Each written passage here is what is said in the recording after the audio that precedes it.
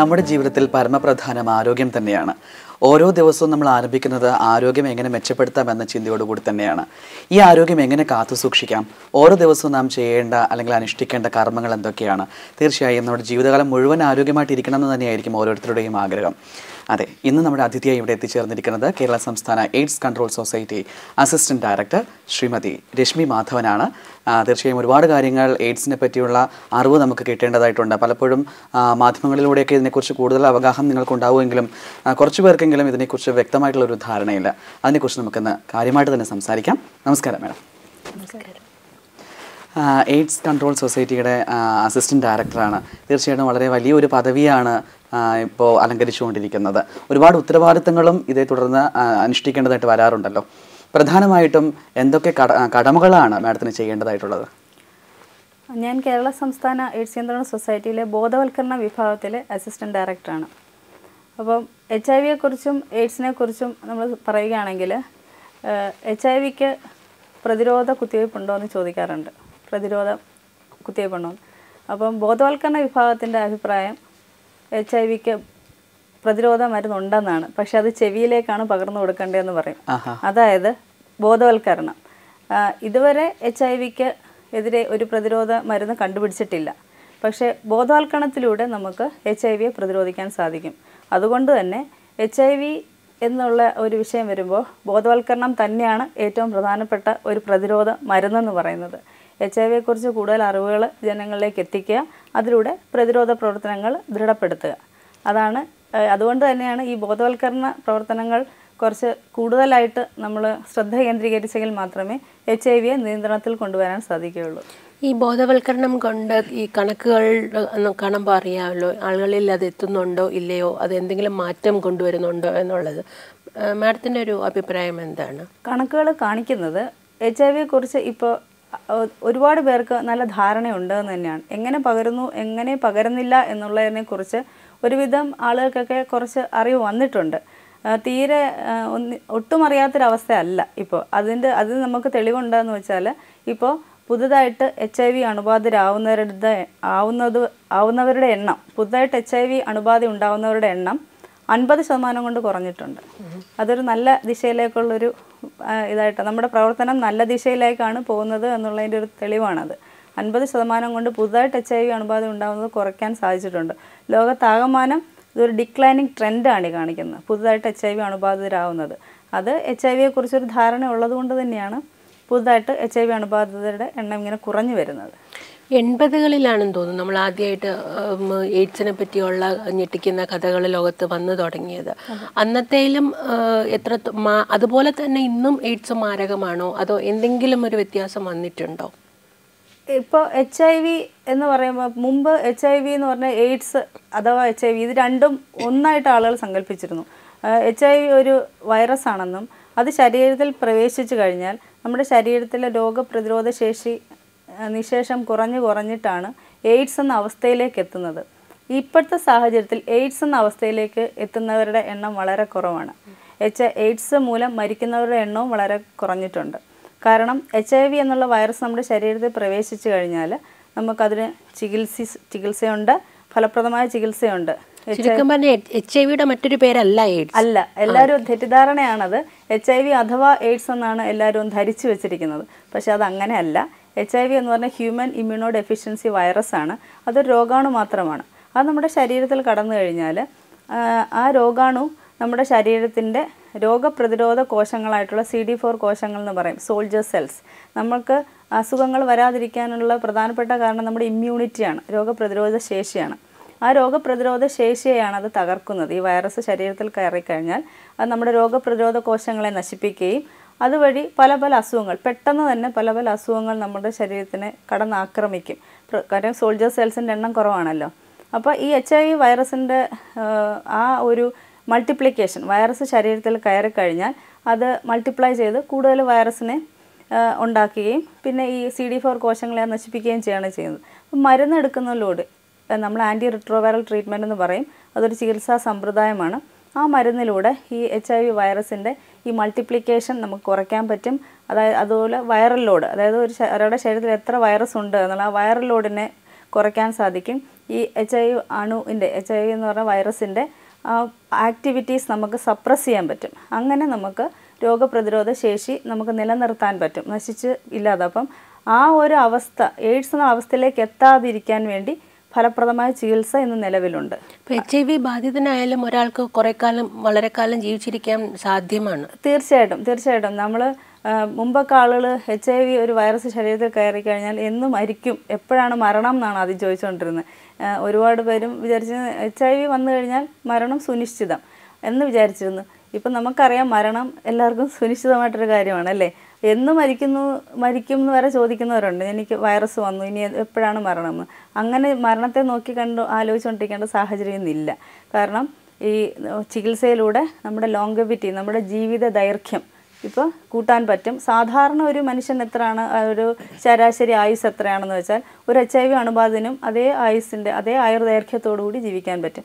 മരുന്നുകൾ കറക്റ്റായിട്ട് സിസ്റ്റമാറ്റിക്കായിട്ട് അത് എടുക്കുകയും നമ്മൾ അധിയറൻസ് എന്ന് പറഞ്ഞു. അതായത് മരുന്ന് എടുക്കാൻ തുടങ്ങി കഴിഞ്ഞാൽ അത് നിർദ്ദേശപ്രകാരം ഡോക്ടറുടെ നിർദ്ദേശപ്രകാരം സ്ഥിരമായി കറക്റ്റായിട്ട് ആ ആ സമ്പ്രദായത്തോട് യോജിച്ചുകൊണ്ട് അവർ പറയുന്ന എല്ലാ നിർദ്ദേശങ്ങളും പാലിച്ചുകൊണ്ട് പോവുകയാണെങ്കിൽ സാധാരണ ഒരു മനുഷ്യൻ എത്ര കാലം ജീവിക്കുന്നു? അതേപോലെ എച്ച് ഐ വി അണുബാധനും സാധാരണ ഒരു മനുഷ്യനെ പോലെ ജീവിക്കാൻ സാധിക്കും.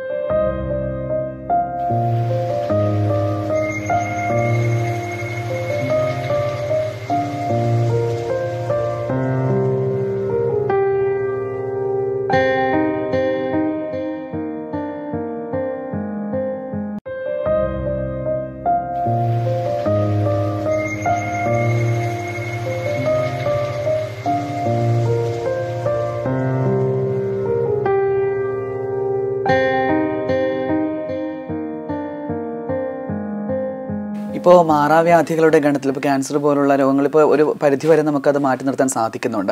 പക്ഷേ എച്ച് ഐ വി പോലുള്ള രോഗങ്ങൾ ഇപ്പോഴും ഒരു മാറാവ്യാധിയുടെ പട്ടികയിൽ തന്നെ ഉൾപ്പെടുത്തിയിട്ടുണ്ടല്ലോ. എച്ച് ഐ വി രോഗാണു ഒരിക്കൽ ഒരാളുടെ ശരീരത്തിൽ പ്രവേശിച്ചു കഴിഞ്ഞാൽ അതിനെ നമുക്ക് നിശേഷം നശിപ്പിക്കാൻ സാധിക്കില്ല. നിയന്ത്രണ വിധേയമാക്കാനേ സാധിക്കുകയുള്ളൂ അല്ലേ?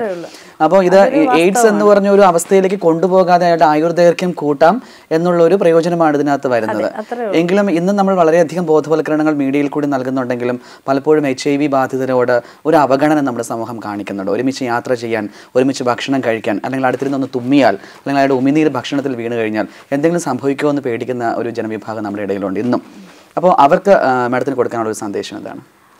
നമ്മൾ എച്ച് ഐ വിയെ കുറിച്ചുള്ള അവയർനെസ് കൊടുക്കുമ്പോൾ നമ്മൾ മനസ്സിലാക്കി കൊടുക്കേണ്ടത് പ്രധാനമായിട്ടും എച്ച് ഐ വി ആകെ നാല് മാർഗത്തിൽ കൂടെ മാത്രമേ പകരുന്നുള്ളൂ. ഒന്ന് സുരക്ഷിതമല്ലാത്ത ലൈംഗിക ബന്ധത്തിലൂടെ. അതായത് നമ്മൾക്ക് ഒരാളുടെ ഹെൽത്ത് സ്റ്റാറ്റസിനെ കുറിച്ച് അറിവില്ലാത്ത ഒരാളുമായിട്ട് നമ്മൾ അൺപ്രൊട്ടക്റ്റഡ് സെക്സ് എന്ന് പറയും. സുരക്ഷിതമല്ലാത്ത ലൈംഗിക ബന്ധത്തിൽ ഏർപ്പെടുകയാണെങ്കിൽ നമ്മുടെ പാർട്ട്ണർ അല്ലാത്ത മറ്റൊരാളായിട്ട് അൺപ്രൊട്ടക്റ്റഡ് സെക്സിൽ ഏർപ്പെടുകയാണെങ്കിൽ എച്ച് ആ വ്യക്തി എച്ച് ഐ വി അണുബാധയുള്ള വ്യക്തിയാണെങ്കിൽ അത് വരാൻ സാധ്യതയുണ്ട്. അതാണ് ഒരു മാർഗം.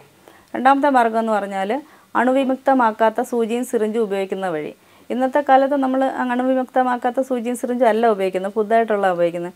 പിന്നെ എവിടെയാണ് ആ ഭീഷണി നിലനിൽക്കുന്നത്? അത് മയക്കുമരുന്ന് കുത്തിവെച്ച് ഉപയോഗിക്കുന്നവരിടയിലാണ് അവരാണ് ഈ നീഡിൽസ് ഷെയർ ചെയ്ത് ഉപയോഗിക്കുന്നത്.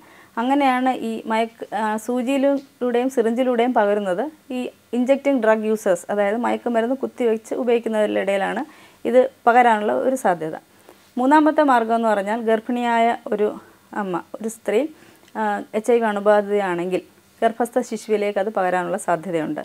ഇപ്പോൾ അത് നിയന്ത്രണ വിധേയമായിട്ടുണ്ട്. അതായത് ഒരു സ്ത്രീ ഗർഭിണിയായാൽ ആദ്യത്തെ മൂന്ന് മാസത്തിലുള്ളിൽ നമ്മൾ ഫസ്റ്റ് ട്രൈമസ്റ്റർ എന്ന് പറയും.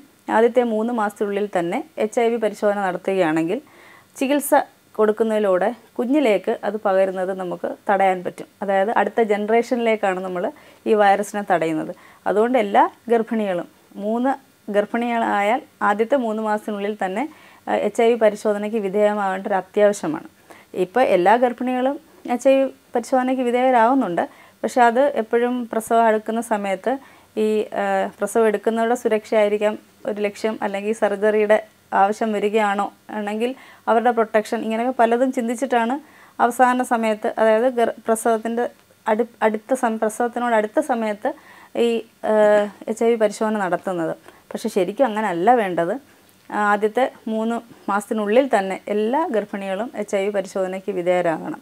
അങ്ങനെ ആയാലുള്ള ഗുണം എന്ന് വെച്ചാൽ നമ്മൾ മരുന്നിലൂടെ എച്ച് ഐ വി കുഞ്ഞിലേക്ക് പകരുന്നത് നമുക്ക് തടയാൻ സാധിക്കും. ഇപ്പോൾ ഇത് നേരത്തെ കണ്ടുപിടിച്ചിട്ടുള്ളത് കൊണ്ട് കണ്ടുപിടിക്കാൻ പറ്റിയിട്ടുള്ളവരിൽ എഴുപത് ശതമാനത്തോളം ഗർഭ എ എൻ സിഡ് കേസ് അതായത് ആന്റിനേറ്റൽ കെയർ അതിൽ ഗർഭിണികളുടെ പരിശോധനയോടെ കണ്ടുപിടിച്ചിട്ടുള്ളവരിൽ കുഞ്ഞിലേക്ക് പകരുന്ന എഴുപത് ശതമാനം കൊണ്ട് കുറയ്ക്കാൻ സാധിച്ചിട്ടുണ്ട്. അതൊരു നല്ല കാര്യമാണ്. അതെല്ലാവരും അത് ഒന്ന് ഓർത്ത് വയ്ക്കുന്നത് നന്നായിരിക്കും. അല്ലാതെ ഒരുമിച്ചിരുന്ന് ഭക്ഷണം കഴിക്കുന്നത് കൊണ്ടോ അങ്ങനെയൊന്നും ഒരു പ്രശ്നം ഒരു പ്രശ്നവും ഉമിനീരോ അങ്ങനെ എന്തെങ്കിലും ഇല്ല. പിന്നെ മൂന്നാമത്തെ മാർഗം ഞാൻ പറയുവാണ്. എച്ച് ഐ വി അണുബാധ വരുന്നത് രക്തവും രക്തോൽപ്പന്നങ്ങളും സ്വീകരിക്കുക വഴി. എച്ച് ഐ വി അണുബാധയുള്ള അതായത് നമ്മൾ ഒരു കണ്ടാമിനേറ്റഡ് ആയിട്ടുള്ള എച്ച് ഐ വി അണുബാധയുള്ള ഒരു രക്തം സ്വീകരിക്കേണ്ട സാഹചര്യം വരികയാണെങ്കിൽ എച്ച് ഐ വി പകരം ഈ നാല് മാർഗത്തിലൂടെ അല്ലാതെ മറ്റൊരു മാർഗത്തിലൂടെ എച്ച് ഐ വി പകരുന്നില്ല. കാര്യം നമ്മുടെ ശരീര സ്രവങ്ങളിലാണ് ഒരു മനുഷ്യന്റെ ശരീര സ്രവങ്ങളിലാണ് എച്ച് ഐ വിയുടെ സാന്നിധ്യമുള്ളത്.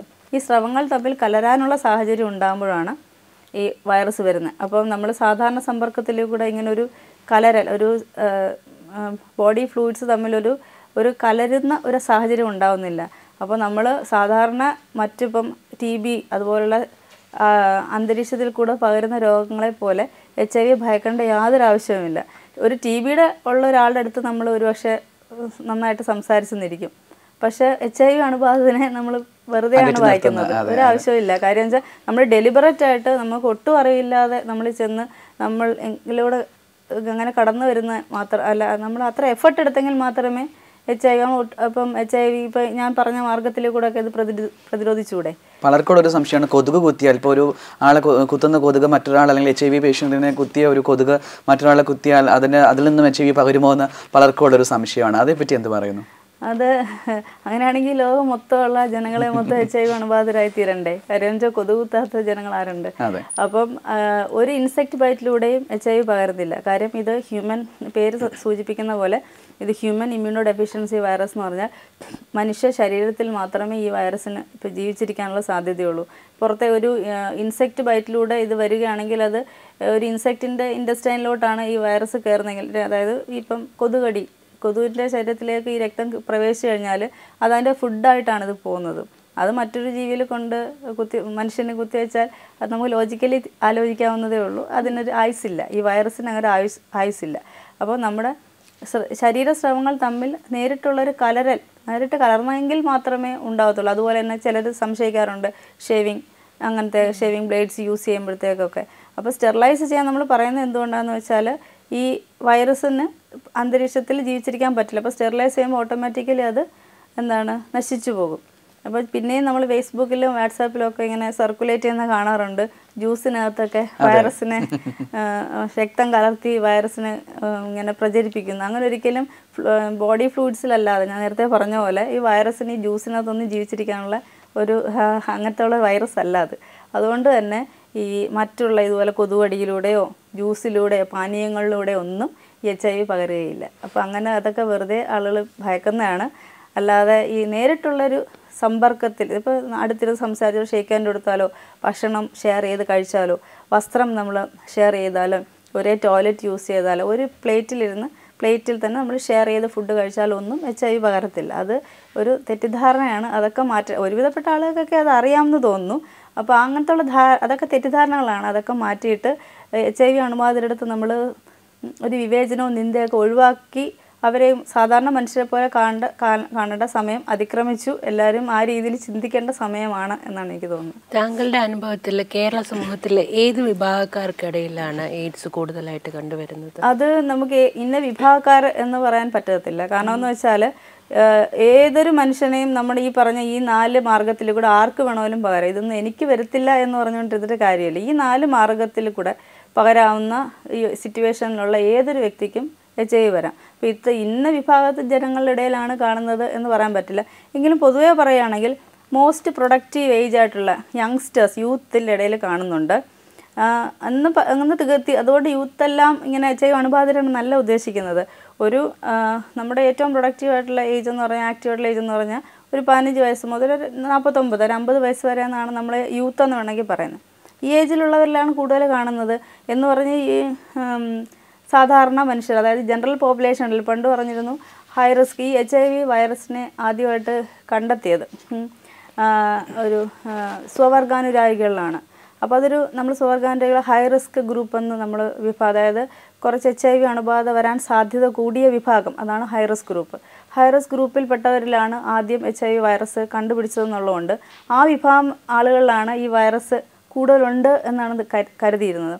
പക്ഷേ അങ്ങനെ കണ്ടെത്തിയതുകൊണ്ട് തന്നെ അവരിൽ മാത്രമായിട്ട് ഒതുങ്ങുന്നില്ല ഈ വൈറസിന്റെ ഒരു സാന്നിധ്യം. ജനറൽ പോപ്പുലേഷൻ അതായത് പൊതുജനങ്ങളുടെ ഇടയിലും സാധാരണ കുടുംബിനികൾക്കും സാധാരണ മനുഷ്യർക്ക് സാധാരണ എല്ലാ തൊഴിൽ മേഖലയിലുള്ളവരിലും ഈ എച്ച് ഐ വിയുടെ ഒരു സാന്നിധ്യം കാണുന്നുണ്ട്. പക്ഷേ എപ്പോഴും ഈ യുവ യുവജനങ്ങളിലാണ് യുവജനങ്ങളെന്ന് ഉദ്ദേശിക്കുന്ന ഈ കോളേജ് കുമാരന്മാരെ ഒന്നുമല്ല ഉദ്ദേശിക്കുന്നത്.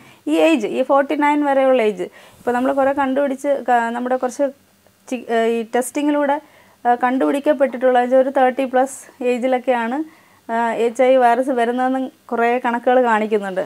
അതായത് കൂടുതലും അതാണ് പാർട്ട്ണറിന്റെ എക്സ്ട്രാ റിലേഷൻസിലൊക്കെ വരുന്ന സാധ്യതയാണ് കൂടുതൽ കാണുന്നത്. അല്ലാതെ ഈ ഇന്ന വിഭാഗം ജനങ്ങളിൽ നിന്ന് നമുക്ക് പറയാൻ പറ്റുകയില്ല. പലപ്പോഴും ഇതൊരു രോഗബാധ വന്നു കഴിഞ്ഞാൽ ഉടൻ തന്നെ നമുക്ക് അറിയാൻ പറ്റുന്ന ഒരു സാഹചര്യം ഇല്ലല്ലോ ഇപ്പോൾ ഇപ്പോൾ എച്ച് ഐ വി ബാധിച്ചു കഴിഞ്ഞാൽ ഒരു വിൻഡോ പീരീഡ് കഴിഞ്ഞതിന് ശേഷം മാത്രമേ ഇത് ഒരു വ്യക്തിയിൽ ഉണ്ടോ ഇല്ലെങ്കിൽ അത് ജീവിച്ചിരിപ്പുണ്ടോ നമുക്ക് അറിയാൻ സാധിക്കുകയുള്ളല്ലോ. അപ്പോൾ ഇത് നമുക്ക് പല പലപ്പോഴും കേട്ടിട്ടുണ്ട്. ഈ എച്ച് ഐ വി ബാധ അല്ലെങ്കിൽ അങ്ങനെ സംശയം തോന്നിക്കഴിഞ്ഞാൽ അതിനെ പ്രതിരോധിക്കാനായിട്ടൊരു ഇഞ്ചക്ഷൻ അങ്ങനെ ഒരു കേൾവി കേട്ടിട്ടുണ്ട്. അതിൽ എത്രത്തോളം സത്യമുണ്ട്? അതായത് നമ്മുടെ എച്ച് ഐ വി നമ്മുടെ ശരീരത്തിൽ വന്നു കഴിഞ്ഞാൽ മൂന്ന് മാസം വരെ എടുക്കും. അത് നമ്മൾ പരിശോധിച്ച് അതിന്റെ സാന്നിധ്യം കണ്ടുപിടിക്കാൻ. നമ്മളൊരു ആന്റിബോഡിയുടെ പ്രതിവസ്തുവിന്റെ ആണ് നമ്മൾ ടെസ്റ്റിലൊരു രക്തം പരിശോധനയോടെയാണ് കണ്ടുപിടിക്കേണ്ടത്. അത് അതിന്റെ എച്ച് ഐ വിയുടെ സാന്നിധ്യം അറിയിക്കുന്ന ആന്റിബോഡി ആന്റിബോഡിയുടെ പ്രസൻസ് ആണ് നമ്മൾ കണ്ടുപിടിക്കുന്നത്. അത് ആ ആന്റിബോഡിയുടെ പ്രസൻസ് ടെസ്റ്റിലൂടെ കണ്ടുപിടിക്കണമെങ്കിൽ മൂന്ന് മാസം സമയമെടുക്കും ഇന്നത്തെ സമ്പ്രദായം അനുസരിച്ച്. അല്ലാതെ ഒരുപാട് സോഫിസ്റ്റിക്കേറ്റഡ് ആയിട്ടുള്ള ഒരു പരിശോധനയുണ്ട്. നാറ്റ് എന്ന് പറയുന്നത് ന്യൂക്ലിക് ആസിഡ് ടെസ്റ്റ് അതുപോലും ഒരു അഞ്ച് ദിവസം മുതൽ രണ്ടാഴ്ച വരെ സമയമെടുക്കും ഈ വൈറസിന്റെ സാന്നിധ്യം കണ്ടുപിടിക്കാൻ.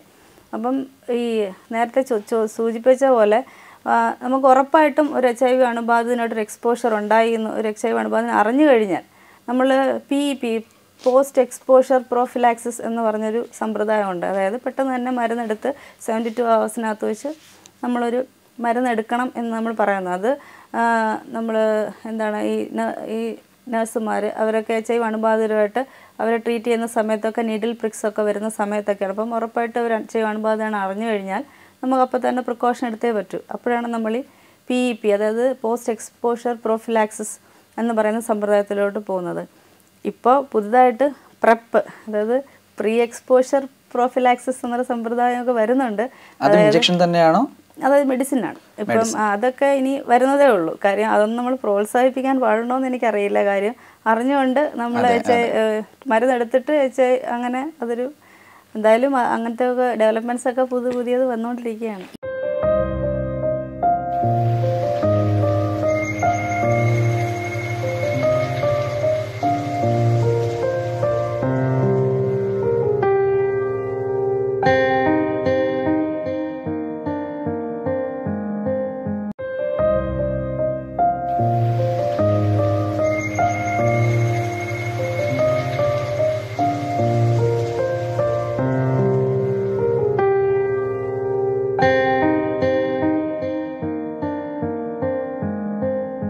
പേരിൽ ധാരാളം തട്ടിപ്പുകളും നമ്മൾ കേട്ടു. ആയുർവേദം ലാടവൈദ്യം വരെ ഉള്ള മരുന്നുകൾ കണ്ടുപിടിച്ചു. ഉദാഹരണം എയ്ഡ്സിന് മരുന്ന് കണ്ടുപിടിച്ചു എന്നൊക്കെ പറഞ്ഞ് ഉള്ള പ്രഖ്യാപനം. അതിലൊക്കെ എത്രത്തോളം സത്യം അത് നമ്മൾ എയ്ഡ്സ് നിയന്ത്രണ സൊസൈറ്റിയും നമ്മുടെ ഈ ചികിത്സാ സമ്പ്രദായത്തിനെ ഫോളോ ചെയ്യുന്ന ഇപ്പം നമ്മൾ ഇപ്പോൾ കണ്ട് ഈ ശാസ്ത്രീയമായി തെളിയിക്കപ്പെട്ടിട്ടില്ലാത്ത ഒന്നിനെ നമ്മൾ പ്രോത്സാഹിപ്പിക്കാൻ പാടില്ലല്ലോ. അപ്പോൾ ഈ മരുന്ന് ഇതെടുക്കുന്നതിലൂടെ എത്ര പേര് ചികിത്സ ഭേദമായിട്ടുണ്ടോയെന്നൊന്നും നമ്മൾ സയന്റിഫിക്കലി പ്രൂവ് ചെയ്തിട്ടില്ല. അതുകൊണ്ട് തന്നെ നമ്മളത് അങ്ങനത്തെ ഒന്നും പ്രോത്സാഹിപ്പിക്കുന്നില്ല. നമ്മൾ പറയുന്നത് ആന്റി റിട്രോവൈറൽ തെറാപ്പി ആ ഒരു ചികിത്സാ സമ്പ്രദായമാണ് എച്ച് ഐ വിയെ നിയന്ത്രണത്തിൽ കൊണ്ടുവരാനുള്ള ചികിത്സാ സമ്പ്രദായമായിട്ട് നമ്മൾ ശാസ്ത്രീയമായിട്ട് തെളിയിക്കപ്പെട്ടിട്ടുള്ളത്. അതുകൊണ്ട് തന്നെ അതെയാണ് പ്രോത്സാഹിപ്പിക്കേണ്ടത്. അതിന് അത് പ്രോത്സാഹിപ്പിക്കാൻ തന്നെയാണ് നമ്മൾ ശ്രമിച്ചുകൊണ്ടിരിക്കുന്നത്. മറ്റതൊക്കെ ഇപ്പോൾ തന്നെ കഴിഞ്ഞ ദിവസം ഒരു എനിക്ക് നമുക്ക് ഈ ഒരു ടെലി കൗൺസിലിംഗ് ഒരു നമ്പറുണ്ട്. ആ അതിലേക്ക് കോൾ വരാറുണ്ട്. പത്ത് തൊണ്ണൂറ്റേഴ് എന്നൊരു നമ്പർ നമുക്ക് നാഷണൽ ലെവലിൽ ടെലി കൗൺസിലിംഗ് നമ്പറുണ്ട്. അല്ലാതെ തന്നെ കെസാക്സിലേക്ക് ആളുകൾക്ക് വിളിച്ച് സംശയങ്ങൾ ചോദിക്കാം. അപ്പോൾ കഴിഞ്ഞ ദിവസം ഒരു കോൾ വന്നിരുന്നു. ഒരു മരുന്ന് കഴിച്ചിരുന്നു. എച്ച് ഐ മാറും എന്നൊക്കെ പറഞ്ഞാൽ കഴിച്ചത്. പക്ഷേ അത് മാറിയിട്ടില്ല. ഇപ്പോൾ കേസ് കൊടുക്കാൻ പോകുന്നുണ്ട്. വേറെ പല ഇറിറ്റേഷൻസും അതുകൊണ്ട് വരുന്നെന്ന് അപ്പം വരുന്ന കോൾസ് അനുസരിച്ച് നമുക്ക് മനസ്സിലാവുന്നത് ഇത് ആളുകൾക്ക് നല്ല ഫലമല്ല കൊടുക്കുന്നതെന്നുള്ളതാണ് അപ്പം ഫലപ്രദമായിട്ടുള്ള ചികിത്സ ഇരിക്കുമ്പോൾ നമ്മൾ മറ്റുള്ളതായിട്ട് കേട്ട് കേൾവി നോക്കിയിട്ട് നമ്മൾ പോകേണ്ട കാര്യമില്ലല്ലോ. എല്ലാ വർഷവും ഡിസംബർ ഒന്നാം തീയതി ലോക എയ്ഡ്സ് ദിനമായിട്ട് ആചരിക്കാറുണ്ട്. ഈ ഒരു ദിവസത്തിന്റെ പ്രത്യേകത വളരെ പ്രാധാന്യത്തോടുകൂടി പ്രാധാന്യത്തോടു കൂടി തന്നെ നമ്മൾ ചർച്ച ചെയ്യാറുണ്ട്. എന്നിരുന്നാൽ തന്നെയും ഇന്ന് ആ ഒരു എയ്ഡ്സിന്റെ വ്യാപനം ഇടം നേരത്തെ പറഞ്ഞ പോലെ തന്നെ ഒരു പരിധി വരെ മുൻകാലത്തെ അപേക്ഷിച്ച് കുറഞ്ഞിട്ടുണ്ടല്ലോ. ഇപ്പൊ പുതിയ റിപ്പോർട്ട് അനുസരിച്ച് എങ്ങനെയാണ് അതിൽ എന്തെങ്കിലും വ്യതിയാനം സംഭവിച്ചിട്ടുണ്ടോ? അല്ലെങ്കിൽ ആ തോത് ഇപ്പം സ്കൂൾ തലം മുതൽക്ക് തന്നെ കുട്ടികൾക്ക് ഇതിനൊരു അവയർനെസ് കൊടുക്കുന്നുണ്ടല്ലോ. അത് എത്രത്തോളം ഉപകാരപ്പെടുന്നുണ്ട്? ഇപ്പോൾ അത് നമ്മൾ ഒരു ഒരുപാട് എല്ലാ തലത്തിലും നമ്മൾ എച്ച് ഐ വിയെ കുറിച്ചുള്ള അവയർനെസ് കൊടുക്കാൻ നമ്മൾ പല മാധ്യമങ്ങളിലൂടെ ശ്രമിക്കുന്നുണ്ട്. ഇപ്പം ബോധവൽക്കരണ വിഭാഗം തന്നെ മാസ് മീഡിയ അതിന്റെ ഭാഗമായിട്ടാണ് ഇപ്പോൾ ഇവിടെ ഇരിക്കുന്നത് പിന്നെ മിഡ് മീഡിയ ഔട്ട്ഡോർ മീഡിയ പിന്നെ സ്കൂളുകളിൽ ഉള്ള അഡോൾസൺ ഹെൽത്ത് എഡ്യൂക്കേഷൻ പ്രോഗ്രാം പിന്നെ ഉള്ളത് റെഡ് റിബൺ ക്ലബ്ബുകൾ നമ്മുടെ കേരളത്തിൽ മുന്നൂറോളം കോളേജുകളിൽ റെഡ് റിബൺ ക്ലബ്ബുകൾ പ്രവർത്തിക്കുന്നുണ്ട്. അപ്പോൾ അവരിലൂടെ കോളേജിലെ കുട്ടികൾക്കൊക്കെ ഈ അവയർനെസ് ക്ലാസ്സസ് കൊടുക്കുക ഇങ്ങനെയുള്ള ഒരുപാട് ആക്ടിവിറ്റീസ് നമ്മൾ ചെയ്യുന്നുണ്ട്. എല്ലാ തലത്തിലും നമ്മൾ അതുപോലെ തന്നെ സ്കൂളിൽ നിന്നും കോളേജിൽ നിന്നും പുറത്ത് പുറത്ത് ജീവിക്കുന്ന ഒരുപാട് യങ്സ്റ്റേഴ്സ് ഉണ്ടല്ലോ. അവർക്ക് ഔട്ട് ഓഫ് സ്കൂൾ യൂത്ത് എന്ന് പറ ഔട്ട് ഓഫ് സ്കൂൾ യൂത്തിന് വേണ്ടിയിട്ടുള്ള ക്യാമ്പയിൻസ് നടത്താറുണ്ട്. അത് നെഹ്റു യുവ കേന്ദ്ര അതുപോലെ യൂത്ത് ക്ലബ്ബുകൾ വഴി യൂത്ത് വെൽഫെയർ ബോർഡിന്റെ സഹായത്തോടുകൂടി യൂത്ത് ക്ലബ്ബുകളിലൊക്കെ നമ്മൾ ഒരുപാട് പ്രോഗ്രാംസ് ചെയ്യുന്നുണ്ട്. പിന്നെ നമ്മൾ അല്ലാതെ തന്നെ ഓരോ എല്ലാ ലൈൻ ഡിപ്പാർട്ട്മെന്റ്സും എല്ലാവരും എച്ച് ഐ വി ഈ ദിനാചരണം സംഘടിപ്പിക്കുക അതുപോലെ അവരുടെ ട്രെയിനിങ് സെഷൻസിൽ നമ്മുടെ ഒരു ചില ക്ലാസ്സുകളിലൊക്കെ നമ്മുടെ ഒരു സെഷനൂടെ അതിന്റെ അടുത്തെടുത്ത് അങ്ങനെ എല്ലാ വിഭാഗം ജനങ്ങളിലേക്കും എച്ച് ഐ വി കുറിച്ചുള്ള ഒരു ഇൻഫർമേഷൻ കൊടുക്കാൻ നമുക്ക് സാധിക്കുന്നുണ്ട്. അത് ഫലപ്രദമാണെന്നാണല്ലോ നേരത്തെ പറഞ്ഞതുപോലെ പുതുതായിട്ട് എച്ച് ഐ വി അണുബാധ ഉണ്ടാകുന്ന കുറയുന്നത് തന്നെ ഇതിനെക്കുറിച്ചുള്ള അവയർനെസ് ഉള്ളതുകൊണ്ടും ആളുകൾ അതൊന്ന് പ്രൊട്ടക്റ്റ് ചെയ്യുന്നതുകൊണ്ടാണ് അപ്പോൾ അതൊരു ഒരുപാട് കാര്യങ്ങൾ നമ്മൾ ചെയ്ത് ചെയ്യുന്നുണ്ട്. ഇപ്പം മാസ് മീഡിയ ആക്ടിവിറ്റീസിൽ തന്നെ റേഡിയോ ടി വി പത്രങ്ങൾ മാഗസീൻസ് വഴിയൊക്കെ നമ്മൾ എച്ച് ഐ വി കുറിച്ചുള്ള മെസ്സേജ് കൊടുക്കുന്നുണ്ട്. പിന്നെ വേൾഡ് എയ്ഡ്സ് ഡേ അതായത് ലോക എയ്ഡ്സ് ദിനം ഡിസംബർ ഒന്ന് എല്ലാ വർഷവും നമ്മൾ ആചരിച്ചുകൊണ്ടിരിക്കുകയാണ്. അപ്പോൾ ഈ വർഷത്തെ ലോക എയ്ഡ്സ് ദിനത്തിന്റെ സന്ദേശം എന്ന് പറയുന്നത് മൈ ഹെൽത്ത് മൈ റൈറ്റ് അതായത് എന്റെ ആരോഗ്യം എന്റെ അവകാശം. അത് എച്ച് ഐ വിയുടെ സെക്ടറിൽ ഒതുങ്ങി നിന്നുകൊണ്ടുള്ള ഒരു പ്രവർത്തനമല്ല അത് കുറച്ചുകൂടെ വാസ്റ്റായിട്ടുള്ള അതായത് ഈ എച്ച് ഐ വി അണുബാധരെ മാത്രമല്ല ഇപ്പം നമ്മളെ സംബന്ധിച്ചിടത്തോളം എച്ച് ഐ വി അണുബാധിതർക്ക് കെയറും ട്രീറ്റ്മെന്റ് സപ്പോർട്ടും കൊടുക്കുന്നതിനോടൊപ്പം തന്നെ പുറത്ത് നിൽക്കുന്ന എച്ച് ഐ വി അണുബാധിതരല്ലാത്തവരിലേക്ക് ഈ എച്ച് ഐ വി എന്നുള്ള വൈറസിനെ പകരാതെ തടയുന്ന ഒരു അത്യാവശ്യമാണ്. അപ്പോൾ നമ്മളെ സംബന്ധിച്ച് ആസ് എ ഹോൾ ലോകം മൊത്തമുള്ള എല്ലാ ജനങ്ങളിലും ഒരേപോലെ തുല്യമായിട്ട് കാണണം. കാര്യം എച്ച് ഐ വി ഉള്ളവർക്ക് ട്രീറ്റ്മെന്റ് കൊടുക്കുകയും വേണം. എച്ച് ഐ വി ഇല്ലാത്തവർക്ക് ഇത് പകരാതിരിക്കാനുള്ള മാർഗങ്ങളും നമ്മൾ നോക്കണം. അപ്പോൾ ഈ ഹെൽത്ത് എന്ന് പറയുന്നത് നമ്മൾ റൈറ്റ് ടു ഹെൽത്ത് എന്ന് പറയുന്നത് അതായത് ആരോഗ്യ സംരക്ഷണ അവകാശം എന്ന് പറയുന്നത് നമ്മൾ ഈ സേ മരുന്നുകൾ കൊടുക്കുക ആരോഗ്യ മേഖലയിലെ സേവനങ്ങൾ മാത്രമല്ല. ഒരുപാടത് വാസ്റ്റായിട്ട് ചിന്തിക്കേണ്ട കാര്യങ്ങളാണ് ഇപ്പം സാനിറ്റേഷൻ. പ്രോപ്പർ സാനിറ്റേഷൻ കൊടുക്കുന്നത് വഴി ഹെൽത്ത് നമുക്ക് സപ്പോർട്ട് ചെയ്യാൻ പറ്റും. നല്ലൊരു ക്ലീൻ എൻവയോൺമെന്റ് കൊടുക്കുന്നത് വഴി നല്ലൊരു പരിസ്ഥിതി സംരക്ഷണം വഴി നല്ല അതും ഒരു ഹെൽത്തിന്റെ ഒരു ഭാഗമാണ് അല്ലേ? റൈറ്റ് ടു ഹെൽത്തിന്റെ ഭാഗമാണ്. അതുപോലെ നല്ല കറക്റ്റായിട്ടുള്ള ഹെൽത്തി ഹെൽത്ത് എഡ്യൂക്കേഷൻ എല്ലാ മേഖലകളും. അതായത് ഇപ്പോൾ മുമ്പൊക്കെ സെക്സ് എഡ്യൂക്കേഷൻ എന്നൊക്കെ പറയാൻ ഭയങ്കര ടാബുവാണ് ഒന്നും ചെയ്യാൻ പാടില്ല എന്നൊക്കെ പറഞ്ഞിട്ട്. പക്ഷേ അങ്ങനെ അല്ല അത്. എല്ലായെക്കുറിച്ചും എല്ലാ സെക്സ് എഡ്യൂക്കേഷൻ എന്നുള്ള ടേം മാറ്റിയിട്ട് അവർ ഹെൽത്ത് എഡ്യൂക്കേഷനാണ് ഹെൽത്ത് എന്ന് പറയുമ്പോൾ അതിനകത്ത് എല്ലാം വരും അല്ലേ? നമ്മുടെ സെക്സ് ഓർഗൻസും എല്ലാം അതിനകത്ത് വരും. അപ്പോൾ അങ്ങനത്തെ എഡ്യൂക്കേഷൻ എങ്ങനെ ഈ എച്ച് ഐ വി ആണെങ്കിലും അതുപോലെ reproductive tract infections sexually transmitted infections എന്താ ഇതൊക്കെയെന്ന് പറഞ്ഞാൽ നമ്മൾ പൊതിഞ്ഞ് പറയേണ്ട കാര്യങ്ങളല്ല. നമ്മൾ എന്താണ് അതങ്ങ് അത് ഇങ്ങനെ അങ്ങ് ഉഴപ്പുന്ന കാര്യമല്ല. ശരിക്കും പറഞ്ഞാൽ മറ്റുള്ള ഏതൊരു അവയവത്തെ പോലെ കണ്ണിനെ പോലെ മൂക്കിനെ പോലെ മറ്റു ഏത് അവയവത്തെ പോലെ തന്നെ നമ്മൾ വളരെ ക്ലീനായിട്ടും വളരെ വളരെ ശ്രദ്ധയോടുകൂടി പരിപാലിക്കേണ്ട അവയവങ്ങളാണ് സെക്സ് ഓർഗൻസ് എന്ന് പറഞ്ഞത്. അപ്പോൾ അതിന് എന്തൊക്കെ അസുഖങ്ങൾ വരാൻ സാധ്യതയുണ്ട്? എങ്ങനെ വരാൻ സാധ്യതയുണ്ട്? ഇതൊക്കെ അറിഞ്ഞിരിക്കണം. അപ്പോൾ ഹെൽത്ത് എഡ്യൂക്കേഷൻ സിസ്റ്റത്തിൽ കുറച്ച് കുറച്ചുകൂടെ എന്താണ് ഈ ടാബും എല്ലാം കളഞ്ഞിട്ട് ഒരു പൊതിഞ്ഞ് പറയേണ്ടതല്ല. നമ്മൾ ഡയറക്റ്റായിട്ട് എഡ്യൂക്കേഷൻ വഴി മെസ്സേജ് കൊടുത്താൽ കുട്ടികളാണെങ്കിലും യങ്സ്റ്റേഴ്സ് ആണെങ്കിലും മറ്റുള്ള മാർഗങ്ങളിൽ കൂടെ എന്താണ് തെറ്റായ അറിവുകൾ പകരുന്നതിനേക്കാളും നല്ല നമ്മൾ ശരിയായ അറിവ് ശരിയായ റൂട്ടിൽ കൂടെ കൊടുക്കുന്നതിനത് കറക്റ്റായിട്ടൊരു എഡ്യൂക്കേഷൻ സിസ്റ്റത്തിൽ കൂടെ അത് കൊടുത്തു കഴിഞ്ഞാൽ അത് പാർട്ട് ഓഫ് ദിയർ കറിക്കുലമായി മാറിക്കഴിഞ്ഞാൽ വളരെ നല്ലതായിരിക്കും. അപ്പോൾ ഇതും റൈറ്റ് ടു ഹെൽത്തിന്റെ ഭാഗമായിട്ട് വരും. അതുപോലെ തൊഴിലിടങ്ങളിലുള്ള ആരോഗ്യപരമായിട്ടുള്ള ഒരു അറ്റ്മോസ്ഫിയർ അതും ഹെൽത്താണ് ഹെൽത്തിന്റെ ഭാഗമാണ് അല്ലേ? അപ്പം എല്ലാവരും വാസ്റ്റ് ഏരിയയിൽ നോക്കുമ്പം ഇതൊക്കെ നമ്മൾ ഉറപ്പാക്കണം. എല്ലാ സ്ഥലത്തും. എല്ലാ ഏരിയയിലും ആരോഗ്യം എന്ന് പറയുന്നത് രോഗമില്ലാത്ത അവസ്ഥ. അത് മനസ്സിനാകാം ശരീരത്തിനാകാം എല്ലാം ആ ഒരു അവസ്ഥയിലേക്ക് എത്താൻ വേണ്ടി.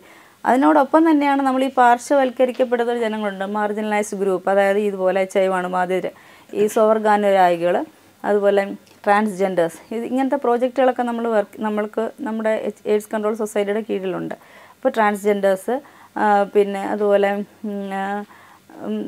സാധാരണ ഈ ഇൻജക്റ്റിംഗ് ഡ്രഗ് യൂസേഴ്സ് ഈ ഹൈ റിസ്ക് എന്ന് പറയുന്ന ഗ്രൂപ്പിനുള്ളവരുടെ ഇടയിലൊക്കെ ഈ പ്രോപ്പറായിട്ടുള്ളൊരു ഹെൽത്ത് ഹെൽത്ത് എങ്ങനെ അവർക്ക് മെയിന്റെയിൻ ചെയ്യണം എന്നുള്ളതിനെ കുറിച്ചുള്ള നമ്മുടെ സപ്പോർട്ട് അധികം കിട്ടാറില്ല. അത് അവർ മാർജിനലൈസ്ഡ് ആക്കി മാറ്റി നിർത്തുവാണ്. അവർക്ക് അതുമായിട്ട് ബന്ധപ്പെട്ട ഡിപ്രഷനും മാനസികവും ശാരീരികവും ഇപ്പോൾ ഒരു ഉദാഹരണത്തിന് ഇപ്പോൾ ട്രാൻസ്ജെൻഡർ ആണ്. അവർക്ക് പ്രോപ്പറായിട്ടുള്ള ട്രീറ്റ്മെന്റ് ഒരു ടാബ് ചെന്ന് കഴിയുമ്പം എന്താണ് അവർക്ക് അവരുടെ ഐഡന്റിറ്റിക്ക് ക്രൈസിസ് ഉണ്ട്. അപ്പോൾ അവർ ഹോസ്പിറ്റലിൽ പോകുമ്പോൾ തന്നെ അവർക്ക് പ്രോപ്പറായിട്ടുള്ളൊരു കെയർ കിട്ടാത്ത സാഹചര്യങ്ങൾ. ഇങ്ങനെ ഒരുപാട് ഒരു ഹെൽത്ത് സെക്ടറിൽ തന്നെ അങ്ങനത്തെ സാഹചര്യങ്ങളുണ്ട്. അപ്പോൾ അതൊക്കെ അങ്ങോട്ട് മാറ്റി വെച്ചിട്ട് എല്ലാവരെയും ഒരേപോലെ കണ്ടിട്ട് ഹെൽത്ത് എന്ന് പറയുന്ന ഒരു റൈറ്റ് എല്ലാവർക്കും ഒരുപോലെ. റൈറ്റ് ടു ഹെൽത്ത് എന്ന് പറയുന്നത് എല്ലാവർക്കും ഒരുപോലെ നമ്മൾ എൻഷുർ ചെയ്ത് കൊടുക്കണം. അത് എല്ലാ സെക്ടറിലുള്ളവരും അത് അവരുടെ ഒരു പാർട്ട് ഓഫ് ദ ലൈഫായിട്ട് മാറ്റണം. അതൊരു സ്ലോഗൺ ആയിരിക്കണം. റൈറ്റ് ടു ഹെൽത്ത് എല്ലാവർക്കും കൊടുക്കാനായിട്ട് എല്ലാ സെക്ടറിലുള്ളവരും പ്രവർത്തിക്കണമെന്നാണ്. അത് തന്നെയാണ് ഈ വർഷത്തെ ഉം, ലോക എയ്ഡ്സിന്റെ സന്ദേശവും റൈറ്റ് ടു ഹെൽത്ത് ക്യാമ്പയിനാണ്. അതെല്ലാവരും ഏറ്റെടുക്കണം. അതുപോലെ തന്നെ ഒരു കാര്യം കൂടി ചോദിച്ചോട്ടെ വളരെ ദുഃഖകരമായ ഒരു കാര്യം. ഇപ്പോൾ എച്ച് ഐ വി ബാധിതരാണെന്ന് അറിഞ്ഞു കഴിഞ്ഞാൽ പലപ്പോഴും ഇത് വ്യാപിപ്പിക്കുന്ന ഒരു ട്രെൻഡ് ഇപ്പോൾ കാണുന്നുണ്ട്. പലപ്പോഴും റെയിൽവേ സ്റ്റേഷൻസിലാണെങ്കിലും അതുപോലെ തന്നെ ട്രെയിനിൽ യാത്ര ചെയ്യുമ്പോൾ ബസ്സിൽ യാത്ര ചെയ്യുമ്പോൾ തിയേറ്ററിൽ ഇതൊക്കെ വളരെ കാര്യമായിട്ട് തന്നെ എച്ച് ഐ വി പേഷ്യൻസ് അല്ലെങ്കിൽ എച്ച് ഐ വി ബാധിതർ മറ്റൊരാളിലേക്ക് പകരാൻ വേണ്ടി ഇഞ്ചെക്ട് ചെയ്യുന്നതായിട്ട് ഒരുപാട് വാർത്തകൾ ദിനംപ്രതി ദിനം പ്രതി വരുന്നുണ്ട്. അപ്പോൾ ഇതിൽ എത്രത്തോളം സത്യമുണ്ട്? അതിന് എങ്ങനെയാണ് അത് നമുക്ക് തടയാനായിട്ട് സാധിക്കുക? അതുകൂടി പറഞ്ഞുകൊണ്ട് അവസാനിപ്പിക്കാം. ഇപ്പം ഇത് നമുക്കിപ്പോൾ കേസസ് ഒന്നും അങ്ങനെ റിപ്പോർട്ട് ചെയ്ത് വരുന്നില്ല. കാര്യം വെച്ചാൽ ഇതൊക്കെ ഒരു ആളുകൾ ഭയപ്പെടുത്താൻ വേണ്ടി പ്രചരിപ്പിക്കുന്നതാവാം. നമുക്കിത് സാധാരണഗതിയിൽ ഒരു റിപ്പോർട്ട് ചെയ്ത് വന്നിട്ടില്ല. ഇങ്ങനെ ഇന്ന പോലൊരു സംഭവം ഉണ്ടായി. ഒരാൾ എന്നെ ഫോഴ്സ്ഫുള്ളി ഇങ്ങനെ ചെയ്ത് പകർത്താൻ ശ്രമിച്ചു എന്ന് പറഞ്ഞ് എയ്ഡ്സ് കൺട്രോൾ സൊസൈറ്റിയിലോട്ടോ അല്ലെങ്കിൽ ഇങ്ങനത്തെ കേസുകൾ ക്രിമിനൽ കേസുകളായിട്ടോ അല്ലെങ്കിൽ അതുപോലെയൊന്നും നമ്മുടെ ഇടയിൽ വന്നിട്ടില്ല. ഇതൊരു ഒരുപാട് പ്രചരിപ്പിക്കപ്പെടുന്ന എനിക്ക് തോന്നുന്നത്. പിന്നെ എച്ച് ഐ വി അണുബാധിതർ ഒരാളായി കഴിയും ഇപ്പം നമ്മുടെ സേവന കേന്ദ്രങ്ങളായിട്ടുള്ള ജ്യോതിസ് എന്ന് പറയുന്ന സേവന കേന്ദ്രം എന്ന് പറഞ്ഞാൽ എച്ച് ഐ വിയുടെ ആദ്യത്തെ ഫസ്റ്റ് സ്റ്റെപ്പാണ് അതെന്ന് പറഞ്ഞാൽ എച്ച് ഐ വി ഉണ്ടോ എന്ന് പരിശോധിക്കുന്ന കേന്ദ്രമാണ്. എല്ലാ സർക്കാർ ആശുപത്രികളിലും സൗജന്യമായിട്ടും അത് രഹസ്യാത്മകത സൂക്ഷിച്ചുകൊണ്ടും നമ്മൾ എച്ച് ഐ വിയുടെ പരിശോധന നടത്തും. അതിന് ആദ്യത്തെ പടി എന്ന് പറഞ്ഞാൽ കൗൺസിലിംഗ് ആണ്. പ്രീ ടെസ്റ്റ് കൗൺസിലിങ്ങോടുകൂടി ആദ്യം കൗൺസിലിംഗ് ചെയ്തതിന് ശേഷമാണ് ടെസ്റ്റിനൊക്കെ ഒരു ഒരു ആളെ കൊണ്ടുപോകുന്നത്. ടെസ്റ്റിലേക്ക് കൊണ്ടുപോകുമ്പോൾ തന്നെ അയാളുടെ ഒരു നമ്പർ മാത്രമാണ് ലാബ് ടെക്നീഷ്യന്റെ കിട്ടുക. അപ്പോൾ എന്ന് വെച്ചാൽ നമ്മൾ ആ ഒരു രഹസ്യാത്മക ഒരു കോൺഫിഡൻഷ്യാലിറ്റി ഒരു അത് നമ്മൾ സൂക്ഷിക്കും എന്നുള്ളതാണ്. അത് കഴിഞ്ഞാൽ എച്ച് ഐ വി അണുബാധ ഉണ്ടെന്ന് സ്ഥിരീകരിച്ചു കഴിഞ്ഞാൽ പെട്ടെന്ന് തന്നെ നിങ്ങൾ എച്ച് ഐ വി അണുബാധയാണ് പൊയ്ക്കോളൂ എന്ന് റിപ്പോർട്ട് കൊടുക്കുകയല്ല ചെയ്യുന്നത്. ഒരു പോസ്റ്റ് ടെസ്റ്റ് കൗൺസിലിംഗ് ഉണ്ട്. ആ കൗൺസിലിംഗ് വഴി ഒരാൾ എച്ച് ഐ വി അണുബാധനായി കഴിഞ്ഞാൽ എങ്ങനെ പോസിറ്റീവായിട്ട് പോസിറ്റീവായിട്ട് ജീവിക്കാം. മനസ്സിലായില്ലേ? അതായത് മറ്റുള്ളവരിലേക്ക് ഇത് പകർത്താതിരിക്കാനും എങ്ങനെ നമുക്ക് ധൈര്യത്തോടു കൂടി ചികിത്സ എടുത്തുകൊണ്ട് നല്ല പോഷകാഹാരം കഴിച്ചുകൊണ്ട് വ്യായാമം ഇതുപോലെ നല്ല രീതിയിൽ ജീവിച്ചു കഴിഞ്ഞാൽ എച്ച് ഐ വി എന്ന് പറയുന്നൊരു ഭീഷണിയൊന്നും അല്ല എന്നവർക്ക് കൗൺസിലിങ്ങിലൂടെ അവരെ മനസ്സിലാക്കിയിട്ടാണ് നമ്മൾ ഈ ഈ എച്ച് ഐ വി അണുബാധിതനാണ് എന്നവരെ അറിയിക്കുന്നത്.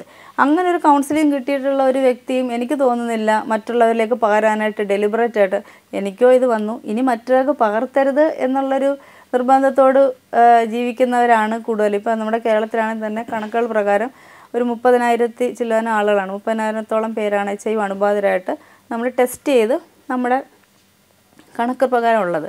ഈ മുപ്പതിനായിരം ജനങ്ങളാണ് നമ്മുടെ കേരളത്തിലുള്ളത്. അവരൊന്നും ഇറങ്ങി നടന്ന് എച്ച് ഐ വി പകർത്താനായിട്ട് ശ്രമിക്കത്തില്ല. ആ കാര്യം വെച്ചാൽ അത്രയും അവർക്കും എന്തായാലും എച്ച് ഐ വന്നു. അതിന്റെ നെഗറ്റീവ് ഇഫക്ട്സ് ഒക്കെ മനസ്സിലാക്കിയവരാണ്. അത് മറ്റുള്ളവരിലേക്ക് പകരാമെന്ന് പറയുമ്പോഴത്തേക്ക് അത് മാനസികമായിട്ട് അത്രയും എനിക്ക് തോന്നുന്നില്ല അങ്ങനെ ഡെലിബറേറ്റ് ആയിട്ട് വി അണുബാധർ അങ്ങനെ ചെയ്യുമെന്ന് ഞാൻ ഒരിക്കലും വിശ്വസിക്കുന്നില്ല. ഇത് എനിക്ക് തോന്നുന്നു ആളുകളെ പേടിപ്പിക്കാൻ വേണ്ടി പ്രചരിപ്പിക്കുന്ന കഥകളാവാനാണ് സാധ്യത. തീർച്ചയായിട്ടും സമയപരിമിതി മൂലം ഇടപെടുകയാണ്. ഒരിക്കലും ഈ ഒരു രോഗം ആർക്കും വരാതിരിക്കട്ടെ വന്നവർ വളരെ കാര്യമായിട്ട് തന്നെ ചികിത്സ എടുത്ത് അതിന് വേണ്ടുന്ന പ്രതിരോധ മാർഗങ്ങൾ നേടട്ടെ എന്ന ഈ ഒരു അവസരത്തിൽ പ്രാർത്ഥിക്കുകയാണ് പറയുകയാണ്. തിരക്കുകൾക്കിടയിലും ഇവിടെ എത്തി നമ്മുടെ എ സി വി ന്യൂസ് പ്രേക്ഷകരോട് വളരെ കാര്യമായിട്ട് തന്നെ കാര്യങ്ങൾ അവതരിപ്പിച്ചു. വളരെയധികം നന്ദി അറിയിക്കുകയാണ് എ സി വി ന്യൂസിന്റെ പേരിലും. ഹാവ് എ നൈസ് ഡേയുടെ പേരിലും. Thank you so much thank you